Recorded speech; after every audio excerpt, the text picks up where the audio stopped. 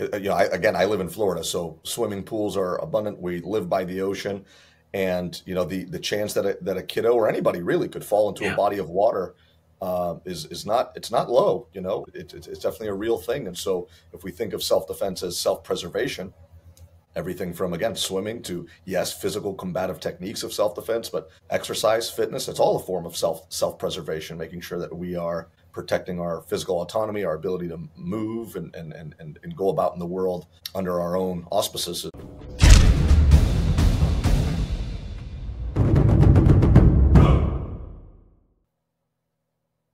What's happening, everybody? Welcome. It's another episode of Whistlekick Martial Arts Radio. And today I'm joined by George Rego. Thanks for being here, George. I'm looking forward to our chat. If you're if you are listening, you don't see that George and I seem to go to the same barber. So you may want to gra- jump on the video and check that out. uh, something something about martial artists and hair. I don't know, maybe because because yeah. it's it's not just hairstyle. A lot of us, it's it's uh, uh it's not our choice, right? Like we yeah. we, we kind of had to lean into it but this is not this is not hair talk. This is martial arts discussion. And if you are new to the show make sure you to visit whistlekickmartialartsradio.com it's where you're going to find every single episode we've ever done. We're we're creeping up on episode 1000 and that means if you're new you've got lots to go back and check out you know t- take a take a look I'm sure there are people that you've heard of, probably people that you know personally that have been on the show over the years, and that's why we keep doing this because it's just it, it's just so much fun and it gives so many people a chance to uh, to talk about the thing that they love, and for all of you out there to hear about the thing that you also love. And if you want to check out the rest of what we do, here and consider supporting us, whistlekick.com is the place to go. Now, this episode, like so many others in the past, is sponsored by Kataaro, K A T A A R O.com. You can use the code WK10 on your first order, save 10%. They make the best belts in the world, but they also make other things. I packed for an event this weekend and threw in my Kataaro hoodie because it's a comfy zip up hoodie. They do belt bags and some really great certificates you can have customized and just so much cool stuff.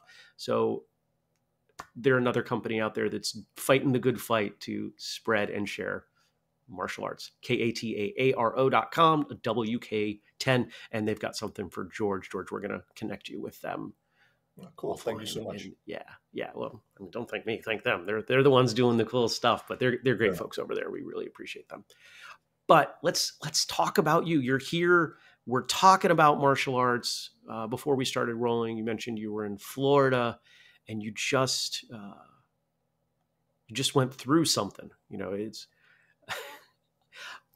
Let me ask you a question. Here's a question that I posed recently to people, and and this might be a good kickoff. Do you consider preparing for a hurricane as uh, uh self defense? Absolutely. Absolutely. I, I take a pretty holistic uh, mm-hmm. approach to thinking about self defense. Sometimes I'll even talk about, you know, one of the things that I required for my daughters growing up. I always told them that, listen, there's a lot of activities you can do that are very much optional, right? Mm-hmm. You could do volleyball or soccer, and those things are great. Once you commit for a season, you got to be in for a season. But the two non negotiables where you have to do martial arts and you have to learn how to swim Mm. And I always equate swimming to self defense, where it is a form of self protection. So, in that same vein, um, you know, to know that there's an incoming threat um, and you have all the opportunity to prepare for it, uh, you want to be able to do that. So, without being uh, paranoid or or, or uh, overly anxious, you do want to make sure that you're prepared for all the all the potential outcomes that that uh, that mm. could mm. arise. Thankfully, we were pretty lucky. We you know we lost some power but you know you got to do all the essentials. Load up on the water have food for a few days make sure that you're uh, ready to evacuate if you needed to evacuate uh, in, in, a hurry and um, and you know that self-preservation idea is very much at the heart of what i do in terms of teaching. Our approach to martial arts is very self-defense based and so um, yeah uh, self-defense is a, is is a, is a is a mindset as much as it is a physical skill so we try to apply that to uh, whatever circumstance arises in, in day-to-day life yeah i went on a uh, i don't want to call it a tear but guesting on a number of preparedness podcasts uh-huh. last year because the, there's so much synergy in the way martial artists tend to approach life and the way you know some people don't like this term but you know uh, preppers or self-reliant people right, right. There, there's just so much of that and, and the overlap is pretty huge which is which is why why we were doing that you know trying to bring people into the show here. And i find that the biggest difference is just the the labels right? You talked about water and food and swimming and I, I think for most martial artists and, and i'm curious how you bring this in when you talk about martial arts whether it's to to other martial artists or, or to people who are not training yet. You know, you mentioned something like swimming. If you look at the statistics for children, swimming is a huge, huge skill. Probably, if we were just going numbers, it's probably more important that kids learn how to swim than martial arts. Yeah, yeah. I mean, so how, how do you how do you connect those dots for people? To say so, but but you're you're absolutely right. I mean, uh, uh, you know, I, again, I live in Florida, so swimming pools are abundant. We live by the ocean, and you know the the chance that a, that a kiddo or anybody really could fall into yeah. a body of water uh, is is not it's not low. You know, yeah. it's it's it, it, it's definitely a real thing. And so, if we think of self defense as self preservation, um, everything from again swimming to yes, physical combative techniques of self defense, but exercise, fitness, it's all a form of self self preservation, making sure that we are protecting our physical autonomy, our ability to move and and and and, go about in the world um, under our own auspices is is uh, mm. it, again it goes back to that self defense mindset. You, you mentioned the preppers. I've always kind of had the similar thought. You know, yeah, you see the extremes where people go all out, but that self reliance idea. I mean, it's called self defense, not you defend me, or you know, you have to be your own bodyguard. You have to be prepared uh, as, a, as an individual unit to take care of yourself in the worst case scenario, whether it's a disaster or a hurricane or falling in a body of water or heart disease or a physical attack. So that mm. that again, it goes back to applying that self defense filter as as a way um, of, of, of, approaching things. Again, I try to be careful in emphasizing that we don't want people. certainly, I don't want my students to walk around uh, paranoid, thinking that you know behind every bush there's a threat, but uh, or every time I get into a car, that I'm going to get into a car accident. But when I get into a car, I do put the seatbelt on. Mm. You know, I prefer to be in a car that has an airbag that, as opposed to one that doesn't have an airbag. If I'm, you know, in the kitchen, uh, I'm not paranoid that there's going to be a fire at any moment, but I'd rather be in a kitchen that has a fire extinguisher as opposed to one that doesn't. Uh, rather know how to use it. Uh, so, so that kind of again applying that self defense filter is is very much at the heart of uh, of, of, what we do. Mm. Mm. It, it's what what I'm hearing is is a word that I like to use. It's mitigate or mitigation, right? Yeah. Because none of us will ever be perfectly prepared. If, if we if we walk down the street and we're saying, okay, there could be someone behind that bush. It's a really low risk, so I'm going to walk by. That's mitigation. Or you know, if there is someone behind that bush, I've got a, a, better than average chance of defending myself. That's mitigation. But if I look at that bush and say, I'm not going to walk by until I am 100% sure I am safe, well, that's that's where life just locks down. And everybody draws those lines of what is what is mitigated result differently. Some people choose to carry additional tools on their body at times when they are out in the world if they are, you know, hopefully if they're legally permitted to do so, but you know, that, that's that's a whole other conversation. And just as we talk about swimming as a skill, or maybe having, you said there's a hurricane coming. Let's make sure we have plenty of water. Let's make sure we have plenty of food. It's it's that it's that approach that within the martial arts world, why do we learn to protect ourselves? Because we probably don't have time to wait for someone else to come to our aid. Why do we have extra water? Well, there are plenty of people around the country right now who are saying, you know, maybe we should have had a little more water. Maybe we should have had this, that, or the other. And hopefully they're better prepared for the next potential event, which it's that lather, rinse, repeat cycle that we go through. We do it in martial arts too. Yeah, absolutely agree. Absolutely agree. You know, it's one of these things where uh, I like what you said just a few moments ago about you, your there's never any guarantees in life, period, right? But you you certainly can implement certain certain behaviors, certain habits, uh, certain ways of being that increase your probability of success, right? Mm. So uh, an analogy that I guess uh, one could use is if you do, you know, let's say you, you, you want to prevent uh, a bad health, you know, uh, disease, cancers, heart disease, whatever the case is. There's there's certain things that you can do that increase without guaranteeing. There are no guarantees. Your probability of of of, of mitig- mitigating those things, right? You know, it's like, hey, get, eat some vegetables. Would you get some exercise? Have something for stress relief. Get some good sleep, and you can implement all of these really good habits. Does that mean that there's a zero percent chance? No, it doesn't. You know, you you you could be 33 and end up with some, you know, um, life threatening disease. That's true. But, you know, not smoking, eating well, all of those things are only going to make it more and more likely that you avoid those diseases. And if, if God forbid something like that does hit you, you're in a more robust state to be able to combat it. And so we can apply that same idea again to walking down the street or preparing for uh, a hurricane or a life event. You know, what are the things that I can do that again, understanding that there's never a 100% guarantee that I won't be attacked or I won't come down with some disease. Um, but I'm increasing the probability that A, it doesn't happen, and B, should it happen, uh, I've given myself the best possible chance for uh, negotiating the situation successfully. Yeah. Yeah. There's a, there's a podcast out there that I've actually been on a couple times in early days. It's a huge show now called the Survival Podcast, and and it's I like the show because it's a, it's a much more uh, balanced approach to exactly what we're talking about. Right? It's um, the, the, the gentleman that hosts the show comes at this very subject. You know, the same subject a lot of martial artists come at. How do I keep myself safe?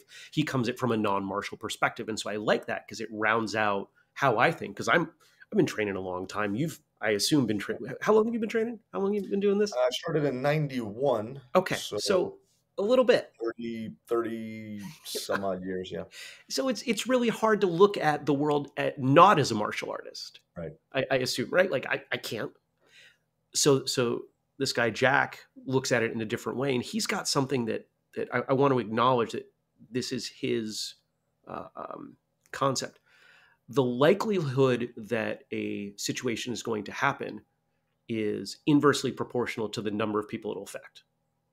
People mm-hmm. lose their job every day. That's significant for you.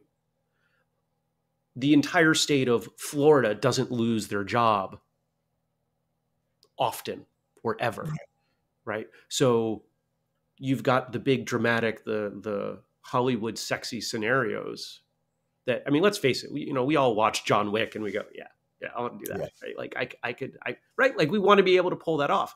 But what is much more likely that you carry yourself down the street with confidence and prevent yourself being mugged? Right, happens just to you, but it's much more likely, and those are the things that we need to go after. Yeah, completely agree just uh, you, you know you mentioned walking walking down the street with a certain confidence right? That in and of itself that awareness the confidence the energy that you project as the kids say the vibe you put out there that in and of itself is making you a harder target as opposed to a soft target that that uh, again in terms of mitigation you're, you're just in the way you comport yourself as a martial artist in and of itself is a self-defense measure you know so i agree completely. Yeah. I I want I want to talk more about how you got started in a moment, but whenever this like this subject comes up, I, I, try to make sure we mention it because I think it's so important as a soft skill for instructors to teach that confidence and make sure posture, et cetera, is being reinforced at, at all ages. But also, it's to my mind it it discredits the the even having the argument of this art is better than this art right? Because we've got people, if someone comes through and they gain confidence, if they feel like they are more likely to survive and, and stem disaster from an attack, statistically they are because there have been studies where they will take violent convicts, felons, and show them a group of people, show them different people walking down the street and say, who would you pick as the target? And they're all picking the same people. Right, right. Why? Because of body language and posture. So I don't care if you've learned the what we could somehow survey as the objectively worst, subjectively worst martial art of all time. If it gives somebody confidence, they are less likely to get into a situation, and thus it is working. Right. At, least on that initial level. In, in, in that in that way. Yep. Yes. Yep. Absolutely. So you've been training for a while, thirty something years now. I'm I'm going to guess we're we're fairly close in age. Yeah. So you started training as a kid? I did. I was eight okay. years old. Eight, okay. Nine, eight, nine years old. Yeah, when I started okay. out. Awesome. All right. So, uh, all right. So I've got just a couple years on you. Yeah you could you could tell if you look if you look there's there's there's looks like there's a little more white in in my hair than in yours. Why did you get started? Were you were you were you part of the Ninja Turtle surge? So that's, um, that's a little early for turtles. Yeah, no, no. When I was a kid, Ninja Turtles was definitely definitely a thing. I can't say that it was Ninja Turtles that got me involved, although I was, I you know, as a kid, you you, you eat all that stuff up, right? Sure, sure. Uh, I, you know, the truth is, uh, and I've, I've explained this in the past, but I don't have a a great reason um, mm. for you know there was this initial spark, uh, but I can just tell you, and, and my my parents, particularly my mother, always tells the story that just as I essentially from the womb, I, I can't tell you why I was obsessed with everything combative as a kid. You know, whether it was uh, Ninja Turtles or uh, WWF wrestling or a Rambo movie or you know an old western, anything to do mano y mano I just was totally uh, fascinated uh, with it, you know. And so, you know, I'm wrestling my friends and my brother, mm-hmm. and you know, if, if the one of them wasn't available, then I'm, you know, I'm body slamming a pillow or you know, Macho Man Randy Savage off the top rope. You know, that it was just like an obsession constantly. And so my my immigrant parents from Portugal, uh, you know, I, I since I was three, four, five, I was begging my mom, you know, can I can I can I learn how to do karate? Everything was karate to me uh, back then. And, uh, you know, I had kind of this hyperactive, you know, if I was born now, they probably put me on some kind of, you know, pill for ADHD or something. And uh, she didn't think it was a great idea to like teach this kid how to do it for real. And, uh, but I, you know, continued, you know, and never really relented. And uh, at some point, my father told my mom, you know, like, hey, let the let the boy try it for a month. He'll get it out of his system, and and well, now we're we're on a we're on a podcast talking about it, so it never really left it never really left me. But uh, but yeah, so I got I I, I uh, entered the dojo uh, at about eight years old. Uh, and there's a little bit of a side story about why it was that dojo that I went to. But in any case, I went to that dojo, the dojo of a man by the name of Paul Arel, uh, Shihan Paul Arel, who is the founder of our particular system of jujitsu. And um, uh, he started training in 1950, United States Marine. And um, I wa- I was blessed to walk into that dojo, and I, as a kid, kind of developed an obsession with this particular building and this particular place that I had seen them practicing martial arts at. And I walked into his dojo, and um, uh, the rest is history. And I, I, although he's passed on now, I still consider myself a student of his, and uh, and basically have spent my adult life uh, promoting and teaching his uh, his his approach to martial arts and uh, and uh, yeah, the rest is history. Mm. Well, that's cool. You said there was a side story there. Yeah, so so I had this kind of general obsession with martial arts, right? Um, but growing up, uh, I'll try to abbreviate this. My my mother and my godmother were extremely close, okay. and where I grew up in Hartford, Connecticut, uh, and she lived in a, a, a, a side town called Newington. And in order for us to get to my my godmother's house, we had to take a very particular route, kind of the most efficient route. And so, because my mother and my godmother were so close, we would go all the time. At a particular, uh, about a halfway point between my house and, and my godmother's house, um, there's like this old yellow, kind of musty yellow building, but they always had, you know, the, the window shades up, and I would see these guys throwing each other around in there. And as a kid who was already obsessed with this martial arts thing and wrestling and army movies and the rest of it. I would see, you know, anytime I went to my godmother's house, we'd stop at the light and there were there were these guys throwing each other around in there, you know, grabbing each other and throwing each other. And Um, so I became obsessed with this particular place. Like that's that's the place I need to go to. And truth be told, whenever my mother would go to my godmother's house, I'd always like ask, "Can I can I go?" And if I'm being honest, it really wasn't about going to her house. It was hoping that I'd get that 30 second Mm. stoplight uh, so that I could watch them through How the old are window. you at this time? Oh, this is, you know, I'm talking five, six, seven, eight years That old.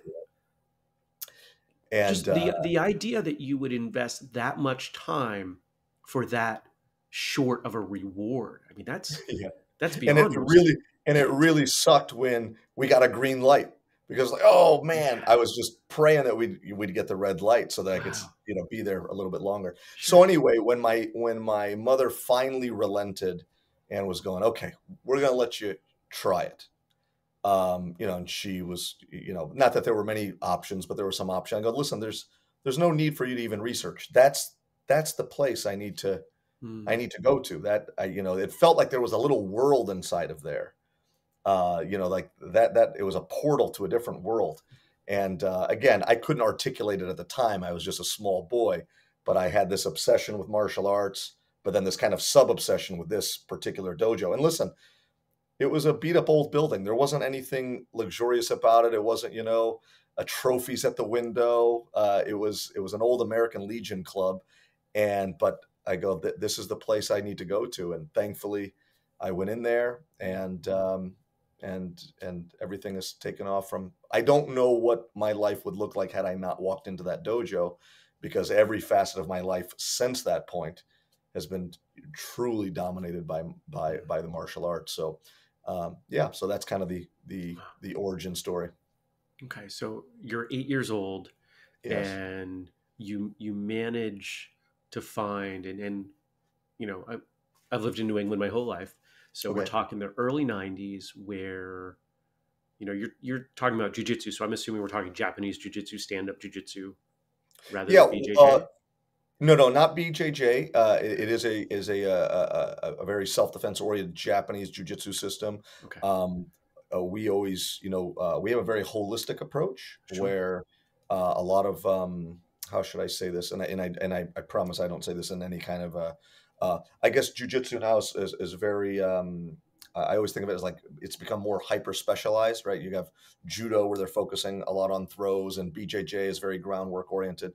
And we had a very holistic approach. We did grappling on the ground, standing throws, everything again though filtered through a, a self defense filter. So uh, it really was not, uh, although we had competitive training and sparring and that kind of thing, but it was never sparring with the idea of that was a one point move, two point move, that's a Mm. three point move.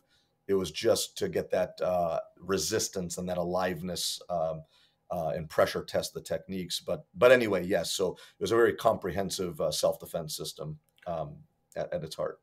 so there there are a couple things that I, I think are worth pointing out there, and the first is that that's an uncommon sort of stylistic approach even today. And 30 years ago was even less so. And so that that fascinates me first off.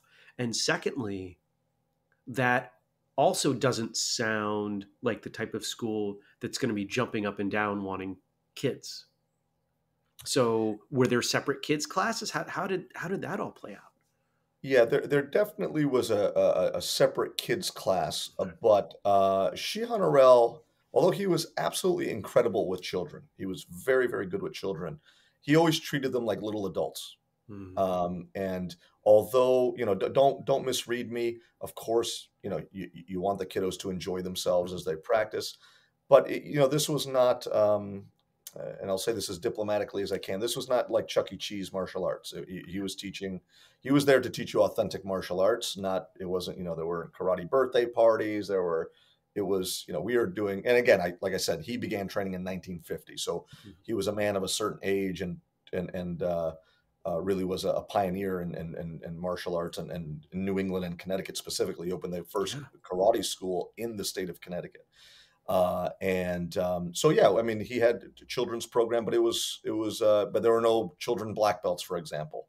It was you know you had to be at least a mid teenager, you know, before we could even begin to flirt with the idea, and that assumed that you had started training at six, seven years old. So There, you there already had wasn't a separate youth track Is you know, there definitely was not a separate youth. A black track. belt was a black belt regardless of age. Yeah, absolutely, absolutely, and um, and uh, so yeah, we we he he was uh, great with kids, uh, and and he loved teaching kids actually, women kids. He was always kind of a fan of the underdog. He himself, despite being top shelf martial artist and a marine, you know, he was five foot three, small man, uh, and so always had a love for the underdog. So when he saw you know, the kind of nerdy kid or the small woman or even the guy who was a little bit more meek. He always gravitated in that direction because he felt like, you know, that guy over there who's super athletic, everyone can benefit from this, but he's probably going to be okay. Mm-hmm. But the real mark of a teacher would be, you know, can I make that person capable of like really capable, you know, uh, not just they feel good and feel better and have more confidence. That's important, but he was obsessed with the art has to have teeth. It has mm. to really be applicable. It has to be something that is tangibly useful. Uh, God forbid, should you actually need it. And and um, and uh, yeah, that was very much his uh, his approach to to uh, to our jujitsu. Oh, okay. The the origin stories are always interesting, and we've heard that. But what I think is even more interesting, because statistically, we all know far more people start martial arts than remain in martial arts. But you stuck with it. Was there a moment do you remember when you said this this is my thing? Uh, was because from the moment? car you suspected it was your thing, right? But was there a point when you went, "Yes, this is what I want and need"? Yeah, so I don't know that there was one particular moment, but there was a you know, as a and again, I wouldn't articulate this, articulate it this way when I was a child because you know I was a child. Right. But I think my initial fascination, uh, where where that may have happened for me, that kind of switch over where this is 100% my thing, is as a child. You know, I remember the first time I walked into that dojo, I saw a young lady by the name of Amy who was you know maybe five feet tall, and she was throwing these guys around, and you know not not uh, not not in the you know super compliant let's do a demonstration kind of a way but like she was she was drilling these guys hmm. and she was very petite but she was so fast and when i saw her th- you know it looked like magic to me is the way that i explain it and like a boy being obsessed with uh you know watching a magician you know like wow like that's amazing how is he making this disappear or hmm. in this case how is she making that guy just fly over and slam into the ground uh, I was obsessed with it like it was a magic show. But at mm. some point, you know, like if you become a magician, you learn the craft, the trade craft. You know, how is, how are you making the illusion happen? How how is that throwing technique or that choke or that arm lock or whatever? How does that actually work? And I think what switched for me is that I actually became more obsessed with, uh, if we were using this analogy, less the magic show, but the craft of how you make the magic happen to begin with. Mm. And so, kind of as a technician, even as a young person, as a young teenager, I became really uh, obsessed with the craft, not just the end result. You know, the wow, the big throw or the big dramatic technique or the flying kick or whatever the thing is. But like, how do you actually make your how do you get your body to conform itself to your will to make to have the technical acumen to to make make that happen and um and so at that point when I started to uh, really fall in love with not just the wow factor of of of the martial arts and how cool something was, but I mean it was cool, but it was cool in a different way. It was cool that you you it was uh, just amazing that someone who was much physically smaller and weaker objectively uh, could be so physically capable. And so i became obsessed with that and I, I really became obsessed with I always found that the the Japanese and martial, martial arts in particular for me kind of struck this balance between uh, you know these guys didn't look like Conan the Barbarian or Hulk Hogan or these wrestlers. Like they were you know this guy could be your accountant hmm. but you never know what this person was capable of and that kind of dualism of having this average looking Clark Kent like individual I was just thinking who, superhero yeah who, who who who really was Superman, you know. Uh, but his disguise was Clark Kent, you know, mm-hmm. or it, it's like that idea that you know this guy's walking around and he's an electrician or an accountant or whatever it is, but underneath that is this extremely capable person, and you wouldn't know because they're not boastful about it. They're not they're not they're not looking to list their resume about how accomplished they are as a martial artist. Mm-hmm. Whereas you know uh, in in the professional wrestling world, they were bombastic and over the top, and you know I, I I got drawn to that idea, and and the more and more I did get drawn to the technical aspects, the philosophy of of the Japanese martial arts, the more it crystallized that you know this this was the way for me, and and mm. um, that there was not going to be you know a retirement date from this. This was an ongoing, lifelong pursuit. Wow. Okay. For a lot of us who started training as children, the fact that we were doing martial arts had at least some impact in how we related to our peers. You know, for for me, it was interesting because I definitely took some flack for it, but yet no one wanted to go physical because they I, am small, and yeah. so they were quite happy to pick on me for it and and verbally discredit what I was doing, but nobody wanted to test it and find out if I actually knew what I was doing. So you know that worked out to my advantage. What was it like for you? I, I would say my experience was slightly different uh, in that uh, one, uh, I don't know if it's kind of our Mediterranean bag. You know, we're we're a little bit hot blooded people, so uh, especially as a younger man, I was I was very. Uh, although I, I, genuinely was never looking for a for a fight, I, I was not one to walk away quite so easily. Let's mm-hmm. put it that way. And so I had a few scraps early on of because of the you know yeah you know kung fu boy you know whatever and you know as soon as it went hands on but that only happened once or twice before like word got around like hey you know leave Rego alone you know he, mm-hmm.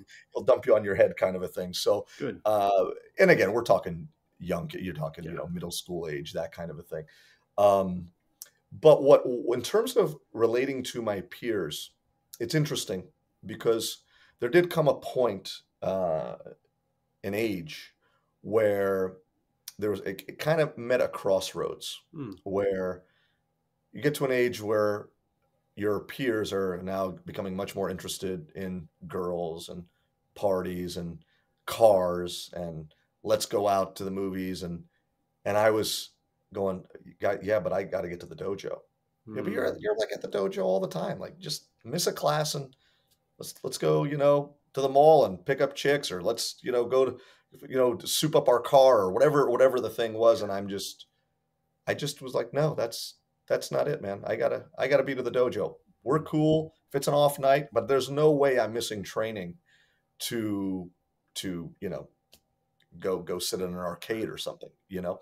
And that made me a little bit of an anomaly in that way where, where I was, I was, you know, I had my friends, I was part of the, part of the group, but you know, he's a little weird. He like, he's strangely obsessed with this thing, and he's not willing to sacrifice uh, a training session to to go to the mall or go to the beach or whatever the thing was. So, uh, and I'm and I'm really happy that that was the case because, as we all know, growing up, you know, sometimes really young people get into you know smoking, drugs, drinking. And I can genuinely say that the dojo and, and, and the art kept me I always had something to do with my time. Um, uh, the art gave me goals. It gave me a purpose, and I wasn't, you know, I wasn't searching for something and seeing if it was at the end of a bottle or, you know, if if chasing this particular girl was going to do it or would I be the cool kid if I attended this party. I really had no interest in.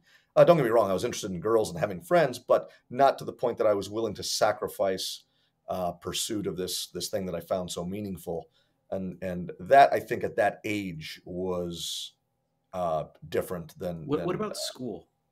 We, I, I've heard this sort of story before, and it usually comes with academics falling down that list as well.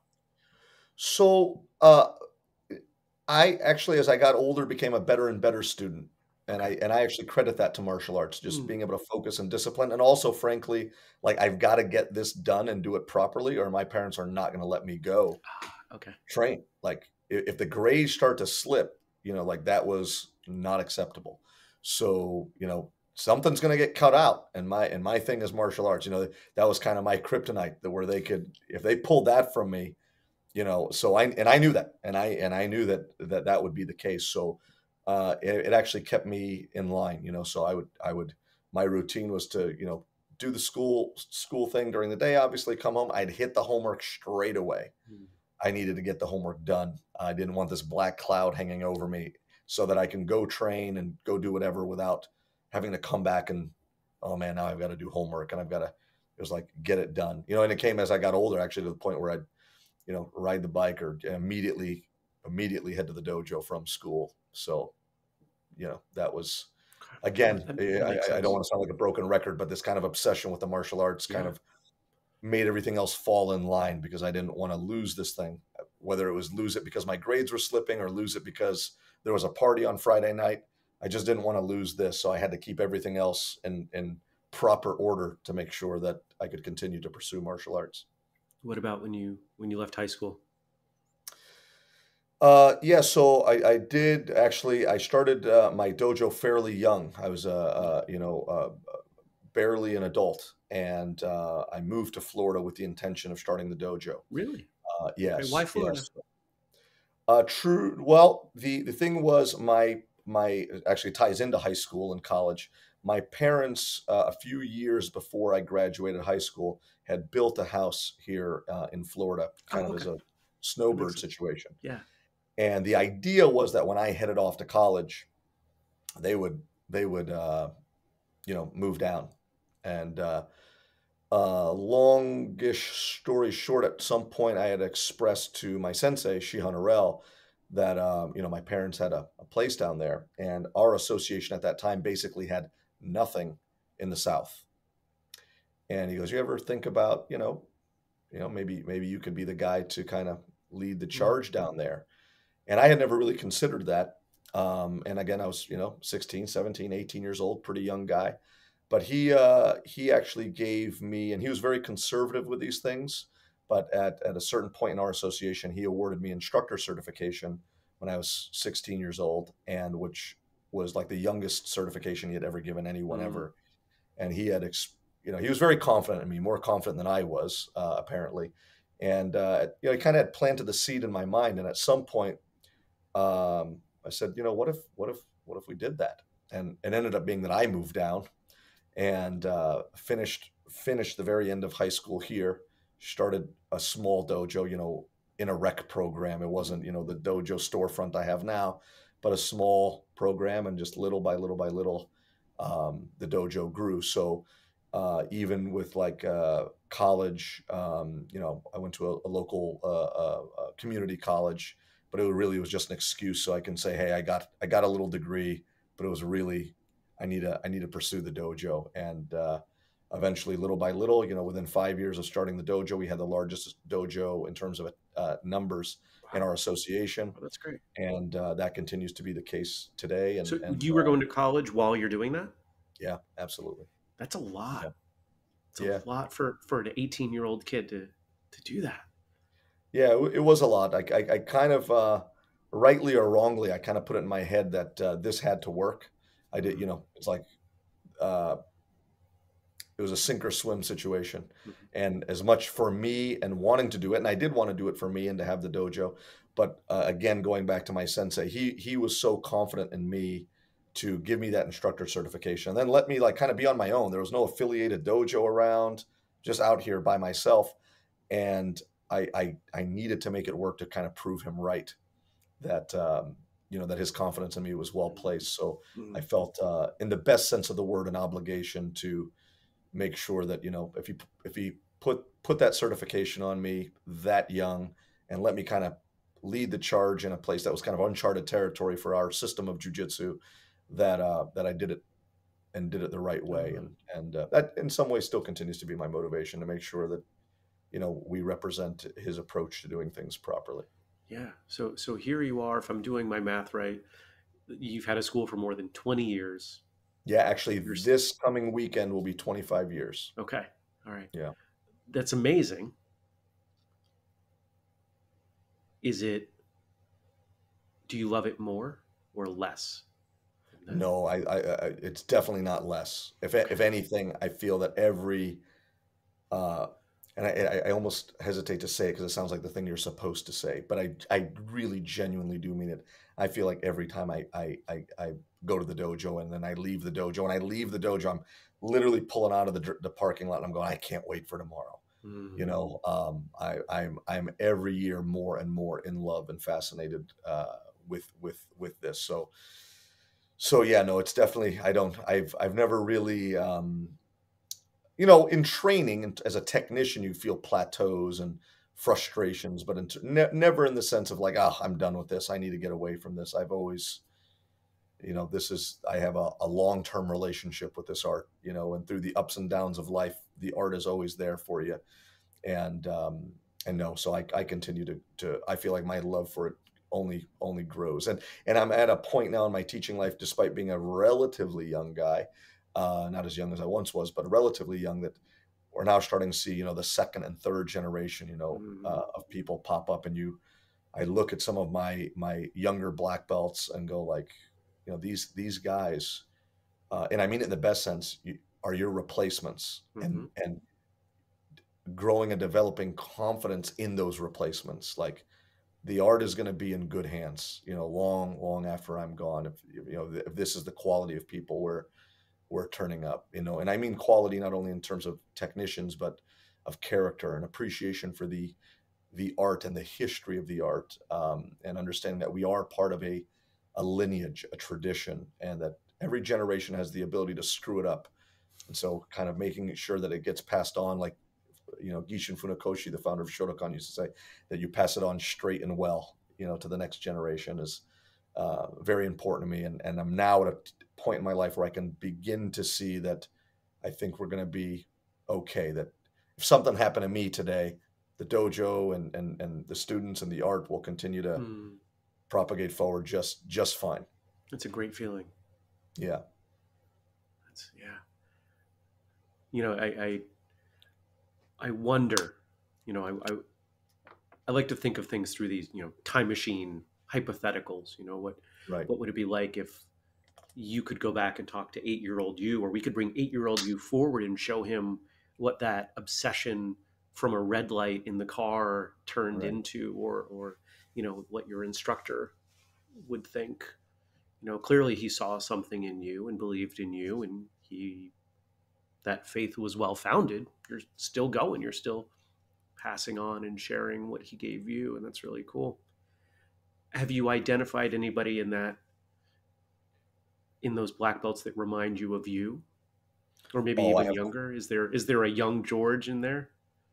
I think there are several young Georges mm. in there, uh, quite a few. Uh, so, uh, you know, they're they're you're they're their own unique person and personality, but that kind of that spark where you see so you know I, have got a I've got a young man uh, that I have in mind right now. Like, I have a few of them, but I got one in mind right now where I'm, I'm thinking he's a brown belt, and I could see him like, no, I'm, I'm not going to go to the football game on Saturday. Why? Because I've got this, I've got this dojo thing going on, and I, don't, you know, I've never said, hey, miss the football thing. Like, you can go, man. It's okay. Like, you, you're not, you're not persona non grata if you go see the, the, the football game, but it's, it's internal. It's with him. He, he, he's, he's making the choice, not because of peer pressure or his sensei is twisting his arm. Like, he just has it and he has it and several other have it uh, have that have that thing where they just are truly um, obsessed sounds negative, but they're they're they're passionate about yeah. the art and and, um, uh, and and and yeah. So so I I I'm, I'm blessed in the sense that I don't I don't feel like there's a um, you know you're relying on the one guy that you need. You know we've got we've got a we've got a family, a community of of, of martial artists um, both at you know more senior students, but uh, you know I see some of these kids who are 11, 12 years old, and I go, that kid for sure, you know, has everything it would take to be a, a, a future high level uh, instructor. Mm. And so uh, there was an earlier time where you, you, you hope and you and you work towards. I hope that happens. I hope this thing doesn't you know die out if something happens to me. And we're I think we're we're well past that now. Oh, that's awesome! Such a great feeling.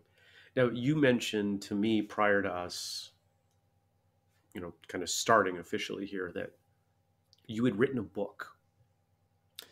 That's Does right. That I, I'm, I'm, I'm does that book fit into this idea of passing on? Because as you're talking about that, it sounds really you're you're passionate not just about training, but on passing on the passion for training to others. So I'm I'm, I'm guessing that book fits into that mold, that idea.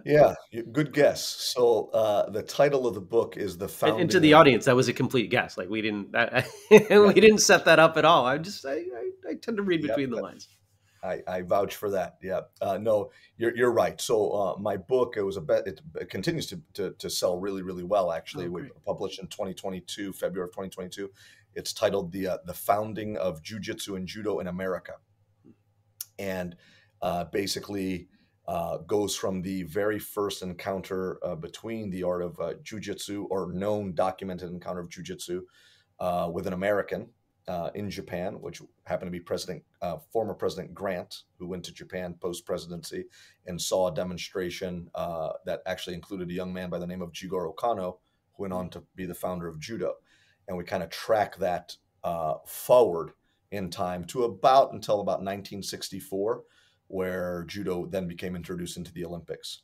And so, yeah, uh, my my my obsession with the art and its history and kind of that lineage and making sure that the story is told is important. One of the main motivations for me writing the book was very much to make sure that some of the one of one of the goals, not the not not exclusively, but one of the goals was to make sure that some of these very prominent teachers did not become lost to time, Hmm. where they just become a faceless, nameless person who contributed to the art being passed on, uh, because there are big names that everybody knows. You know what I mean? Uh, especially these days, uh, and rightfully so. They should know those names. You know, maybe someone like an Helio Gracie, but there's a lot of people who, or Jigoro Kano, right? There's a lot of people along the way who were maybe don't have the name recognition, but were just as instrumental in many ways in making sure that the art was passed on.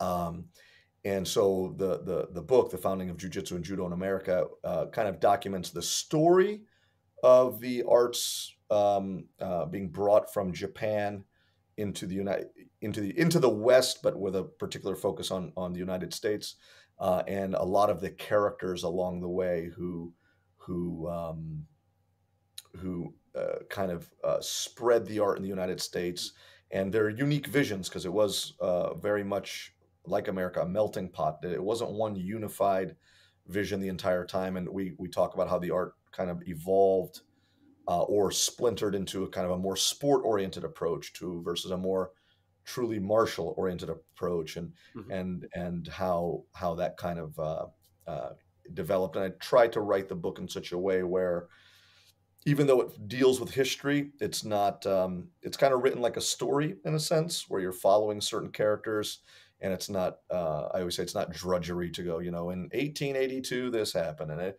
You know, it, it it should feel kind of an easy read for people to be able to follow along with. Uh, with uh, some of these just incredible characters, and you know everything from, again, the first encounter of jujitsu uh, with an American to Teddy Roosevelt having a, a turning the, the the recreation room of the White House into a dojo. It's probably my Uh, how- favorite U.S. historical martial arts.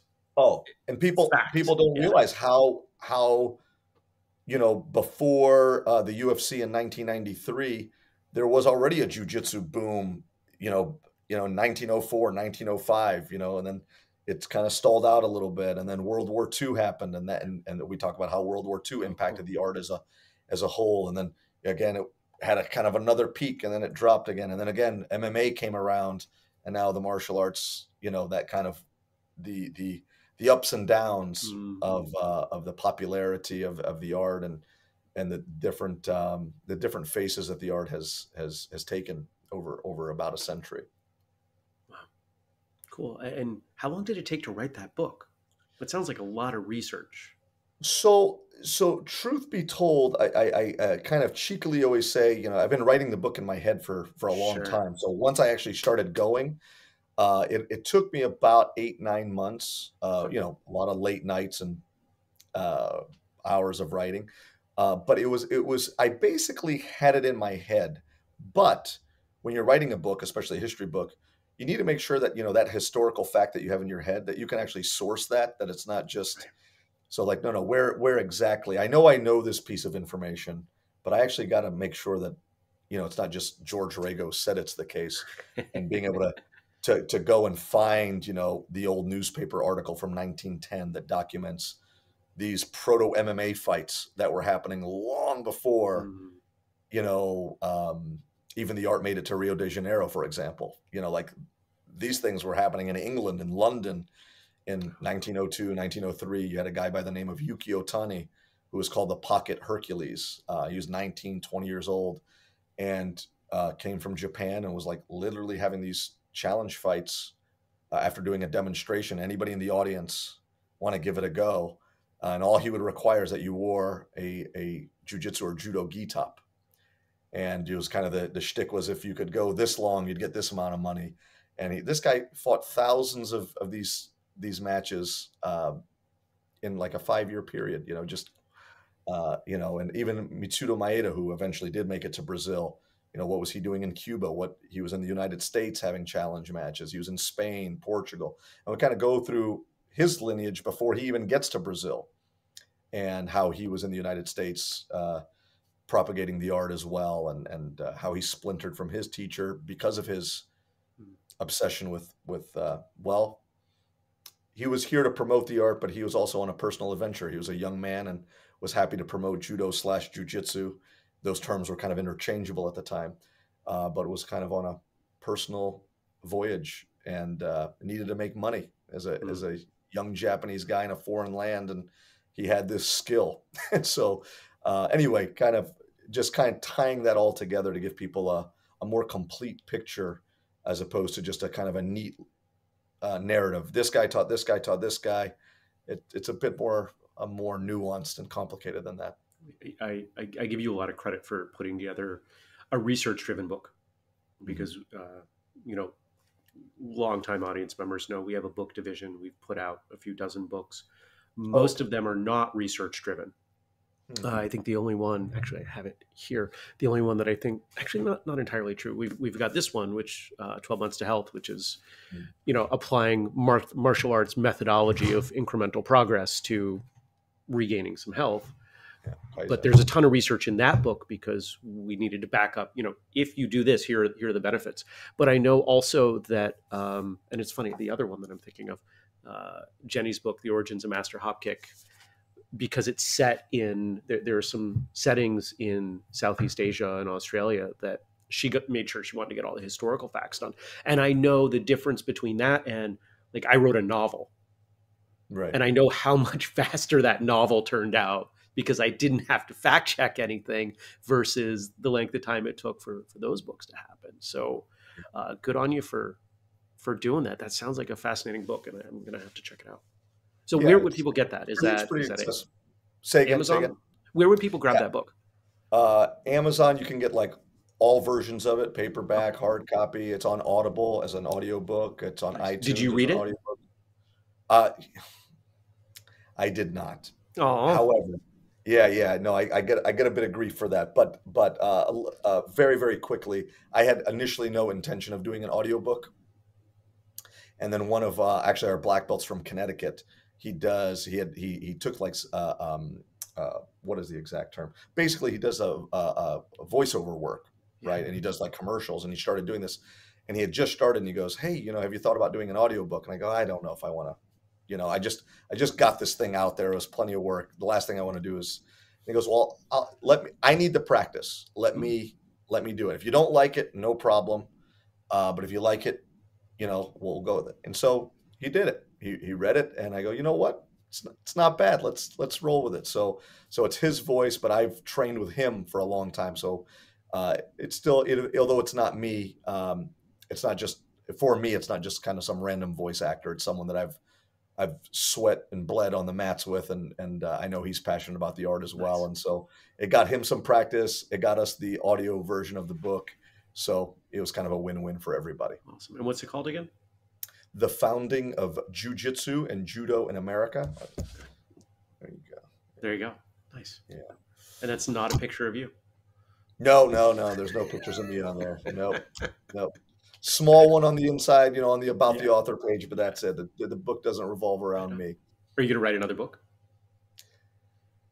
Um, I don't have a concrete, uh, you know, idea where I'm going. Yes, this I'm going to write about this, but but there's a good chance. There's what a good about chance. that next historical block? It sounded like it, it kind of tails off in in the 60s. Yeah, yeah. So what about that that 60 to to early 90s? You know, that pre UFC period. Yeah, the, you're, you're you're very much on track with where kind of my my brain is at with it as well. Um, I'll be honest in telling you that uh, there there I got to be careful here. There's there could be some controversy with with uh, again even some of the uh, I feel comfortable with the way that I framed it in the book because I can back everything up historically.